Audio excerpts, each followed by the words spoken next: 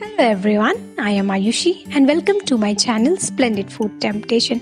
आज हम बनाने वाले हैं नवरात्रि स्पेशल मखाने फ्राई और गुड़ की चाय तो चलिए रेसिपी स्टार्ट करते हैं सब्सक्राइब करें स्प्लेंडेड फ़ूड टेम्पटेशन को और बजाइए घंटे ताकि चैनल पे आने वाले सारे नोटिफिकेशन एंड अपडेट्स आपको सबसे पहले मिले और आप मेरा कोई भी वीडियो मिस ना कर पाएँ।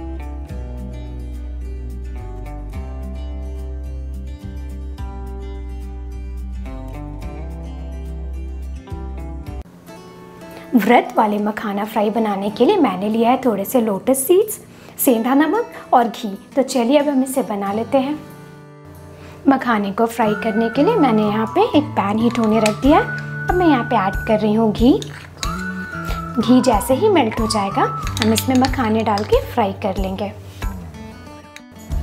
घी यहाँ पे मेल्ट हो चुकी है। अब यहाँ पे ये मखाने डाल दें। और हम इसे लोअर टू मीडियम फ्लेम पर धीरे धीरे से फ्राई कर लेंगे। मखाने को हम व्रत के अलावा नॉर्मल डेज़ में भी कंज्यूम कर सकते हैं। इसके बहुत सारे फ़ायदे हैं। ये बेस्ट एंटीऑक्सीडेंट है रिच इन कैल्शियम है। ये ब्लड प्रेशर लेवल को भी मेंटेन करता है। मखाने यहाँ पे फ्राई हो चुके हैं। अब हम यहाँ पे ये व्रत वाला नमक ऐड कर देंगे। और इसे एक क्विक टॉस दे देंगे। सो फ्रेंड्स यहाँ पे मखाने फ्राई रेडी हो गए हैं। अब हम इसे एक सर्विंग बोल में ट्रांसफ़र करके सर्व कर लेंगे।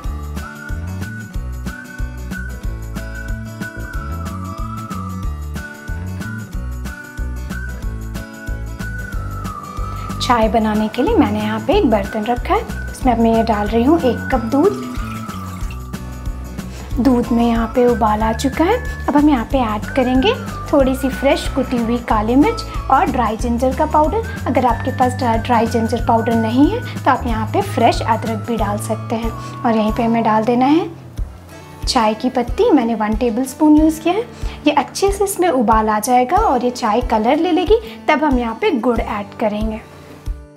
चाय यहाँ पे हमारे अच्छे तरीके से बॉईल हो चुकी है और इसमें कलर भी बहुत अच्छा आ गया अब हम यहाँ पे गुड़ ऐड करेंगे। तो इस स्टेज में आप गैस का जो फ्लेम है वो बंद कर दें और तभी गुड़ को ऐड करें। और एक बात का ध्यान रखें, गुड़ की चाय हमें दोबारा से गर्म नहीं करनी है, नहीं तो ये फट जाएगी। अब हम इसे सर्व कर लेंगे।